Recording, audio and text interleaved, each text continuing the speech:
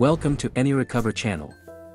CapCut is a popular video editing software used by millions of people.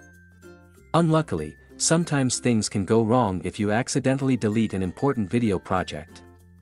This can be a frustrating experience but don't worry, we'll show you how to recover deleted videos from CapCut. Deleting a CapCut project usually means the associated data is permanently removed from your device's storage, which makes it difficult to recover without a backup. If you have saved your project to the cloud or elsewhere, there is a chance to restore it from there. To avoid losing your work, it is recommended to regularly back up your CapCut projects. However if you didn't back up, don't give up. AnyRecover data recovery software will help you restore deleted CapCut projects on iPhone, Android and PC. It also support previewing the data before recovery. Simply click on the free download link and get started.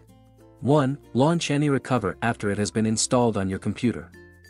2. If you're using CapCut on PC, hit PC hard drive recovery mode, then locate he default save path and hit, then it start scan. 3. After scan, find the list of files. Double-click to preview, making sure it is the deleted video project on CapCut. 4. Finally simply click on Recover. It's done. And if you editing videos on mobile, select iPhone Recovery. After connecting your device to PC, select the types of files and scan. Next steps are the same as above. Moreover, AnyRecover supports social apps data recovery, like WhatsApp, Line. Have a try now.